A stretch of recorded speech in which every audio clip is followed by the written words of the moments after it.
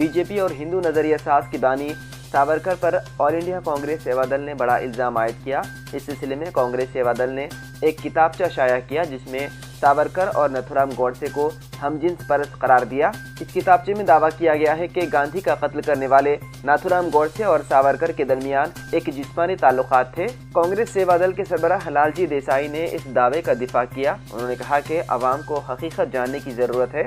کیونکہ B J پی نے ان دونوں کو ہیرو کے طور پر پیش کر رہی ہے۔ کتابچے میں ساورکر پر یہ الزام بھی لگایا گیا ہے کہ وہ انڈومان جیل سے رہائی کے بعد انگریزوں سے رقم وصول کی تھی۔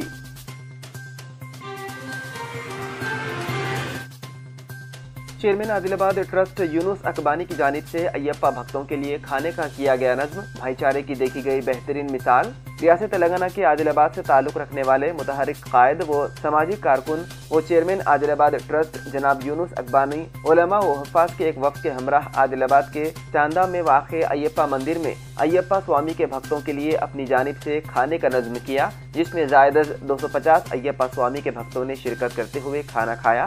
اس موقع پر ایپا سوامی کے لباس اور مالا میں موجود ایپا سوامیوں نے یونس اکبانی کے اس جذبہ انسانی کی خوب ستائش کی اور کہا کہ اس طرح کے اقدام سے دونوں مذاہب کے ماننے والے مزید قریب ہوں گے، آپس میں محبت اور بھائی چارگی کے جذبے کو مزید تقویت ہوگی حاصل۔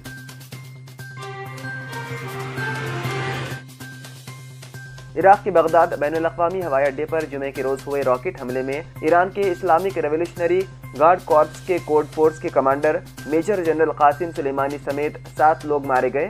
امریکہ سفارت خانے کے رابطہ عامہ کے incharge senior officer Mohammad Jabir نے کہا ہے کہ بغداد ہوائی اڈے پر کیے گئے حملے میں ایران کے force commander major general Qasem Soleimani اور عراقی باغیوں کے چار ارکان اور دو مہمان ہو گئے ہیں ہلاک۔